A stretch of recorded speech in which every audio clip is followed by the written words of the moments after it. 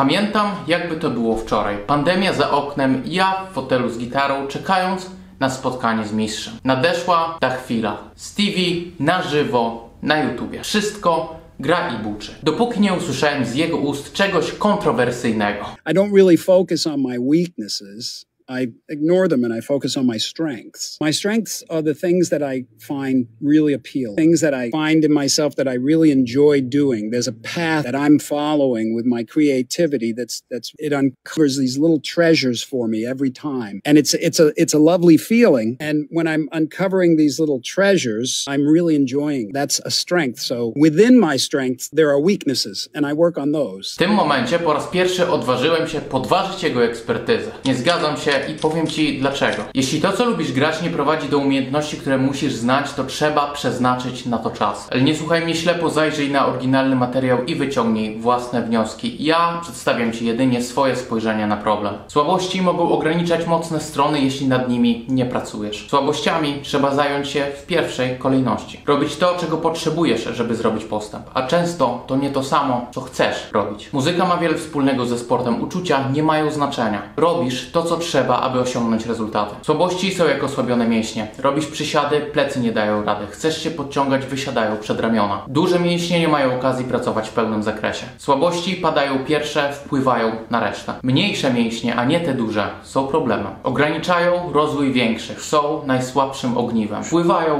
na cały system. Ciało, jak i muzykę należy traktować holistycznie. Załóżmy, że masz świetne ucho, ale nie potrafisz wykonać materiału. Nawet słuch absolutny nie rozwiąże problemów technicznych. Mając umiejętności techniczne, nie mając muzycznych, liczysz na szczęście. Nie grasz tak, jakbyś chciał, nie grasz tak, jak sam słyszysz siebie w głowie, nie grasz świadomie. Nie chcesz liczyć na przypadek, że zorganizujesz myśli. Chcesz być pewien, za każdym razem, albo przynajmniej w 90% przypadków. Przykładem realizacji pomysłu jest piosenka Black Hole Sun wymyślona przez Chrisa Cornella. Cole Sons recorded it in my basement, played drums, played all the instruments, but it's basically what was on the record, just a bad version of it. Did you write Spoon Man on your own? Yeah, Spoon Man come to you like this in your head, bam, and then you wrote it down? Pretty much. Yeah. Wyobrażenie mija się czasami z tym, co powstanie. To znak, że umiejętności muzyczne, jak i techniczne nie są na równym poziomie. Brakuje ci umiejętności, albo nie wyobrażasz sobie rzeczy tak dokładnie, jak myślałeś. To tak jakby miał animację w głowie, ale nie miał bladego pojęcia, co robię. Z drugiej strony mogę mieć umiejętności i nie wiedzieć, jak je wykorzystać. Nie mieć planu, szukać po omacku. Efekt jest jeden. Brak realizacji pomysłu. Jak umiejętności muzyczne i mechaniczne wpływają na siebie nawzajem? Gra na instrumencie ma dwa aspekty. Psychologiczny oraz mechaniczny. Psychologiczny to świadomość dźwiękowa. Mechaniczny koordynacja. Ucho jest odpowiedzialne za analizę, tworzenie i wyobrażenia muzyczne. Technika za realizację. Ich poziom wpływa na dokładność interpretacji. Słabości i mocne strony znajdują się w jednej z tych kategorii. Nie ma innej możliwości. Nie istnieją bez siebie, oddziałują na siebie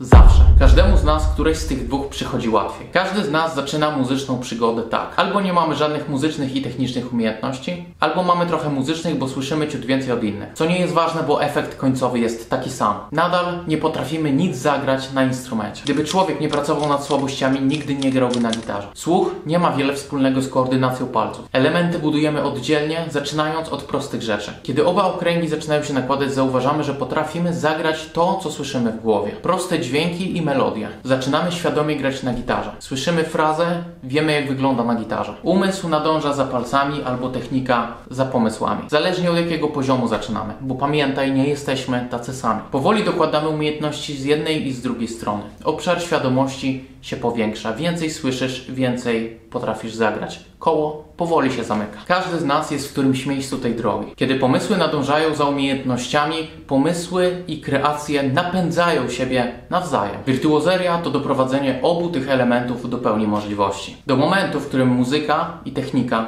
to jedno. Grasz co słyszysz, słyszysz co grasz. Stevie jest właśnie w tym miejscu. Ale co z nami, normalnymi ludźmi, którzy mają słabości powiązane z umiejętnościami technicznymi albo muzycznymi? Zdobywanie umiejętności jest jak gra komputerowa. Dzięki doświadczeniu budujesz swojego bohatera. Maksujesz poszczególne umiejętności. Jak jesteś na wysokim poziomie, pracujesz nad pobocznymi umiejętnościami, czyli słabościami i nadal robisz progres. Powiększasz obszar świadomości. Bohaterowie gry to my. Mamy mocne i słabe strony. W pewnym momencie słabości ciążą nam tak bardzo, że ograniczają postęp. Praca nad nimi nie jest ani fajna, ani przyjemna. Wymaga poświęcenia. W moim przypadku były to ćwiczenia słuchu. Ucho było tak słabe, że nie potrafiłem powtórzyć jednego dźwięku na gitarze.